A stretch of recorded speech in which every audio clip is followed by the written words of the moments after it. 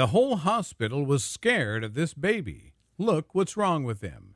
In a small town where everyone knows everyone, something incredible happened. A young girl named Anna decided to give birth to her first child at a local hospital. Everything went according to the usual scenario until the moment of birth itself arrived. The obstetricians were horrified when they saw that an unusual child had emerged from Anna's womb. She's always had an old face, but Katya Nezhentseva, Benjamin Button like appearance, isn't stopping her from living life to the fullest. In Russia, she's become an inspiration, proving success in life just isn't down to one's looks, but about what you make of yourself. When Katya was born 25 years ago, she had the wrinkled face of an old woman. A few months later, she was diagnosed with progeria, a condition where all the body ages prematurely. Doctors told Katya's mother that she only had a few years to live. However, the child confounded expectations. As it turned out, only the skin on her face is affected, but otherwise her body is that of a girl her age. She's been given a new diagnosis of cutis laxa, or loose skin disorder, a condition thought to affect one in a million people, with 400 cases reported worldwide. Her main problem is not her body, but the reaction to her appearance in others. Her father, unable to come to terms with the less than perfect baby he had expected, deserted his family when she was four years old. Katya's mother was determined her child would be a full member of society and fought so her daughter would grow up well adjusted.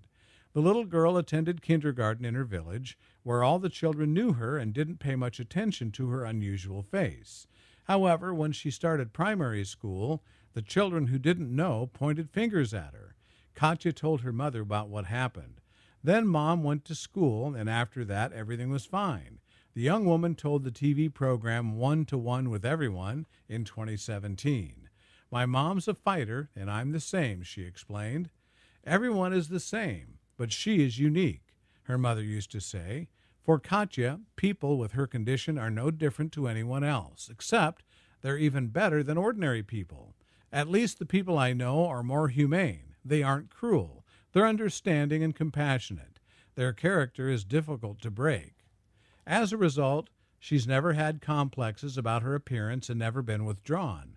Quite the opposite. She has a large circle of friends and was popular at school. Katya Nezhentseva speaks in the deep voice of a mature woman, dispensing wisdom that belies her years. She gave RTD advice for those struggling with low self confidence. In our society, an awful lot in person's life depends on the opinions of unrelated people, Katya counseled. My advice is don't listen to the opinions of others and live the way you want yourself. Because if you start listening to unrelated people, you won't be living your own life advice she never seems to lose an opportunity to practice herself. Katya had two ambitions in life to get plastic surgery and to get married. At 16, she underwent surgery, and by 18, she was married with a child on the way. When I set myself a goal, I try to accomplish it. This was not the end of the story, however. As it turns out, successes can bring with them new sets of problems. As a teenager, she wasn't happy with her appearance, but she wanted to give plastic surgery a go to see what it was like. After her first TV appearance, Katya raised enough money for a skin tightening procedure that gave her a face closer to her real age. It's not an experience she's looking to repeat because of the physical and psychological toll of the operation. Her conclusion imperfection suits me. As for relationships, it's complicated. In spite of her much older face, boys her age showed interest in her. Katya met her husband, who is 10 years older, by chance after he'd dialed a wrong number. Several phone conversations later, they decided to go on a date. She hadn't told Dennis about her condition, and he didn't comment. Their second son, Misha, has the same condition as his mother. He's the heart and soul of the party, his mother told RTD. I've never seen anyone have a negative or even neutral reaction to him. Just as her own mother fought for her, Katya fights for her children. Sadly, after four years of marriage, the pair split up.